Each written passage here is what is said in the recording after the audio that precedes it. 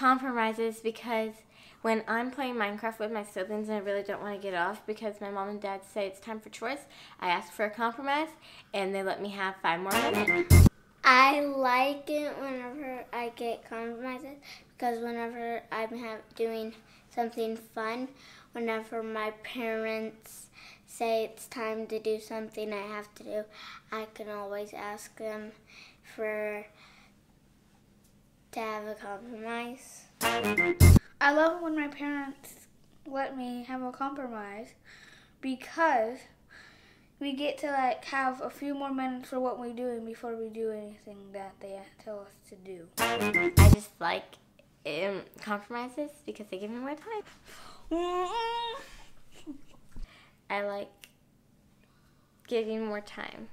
Compromises are really useful. They help me get what I want. They help me get what I need.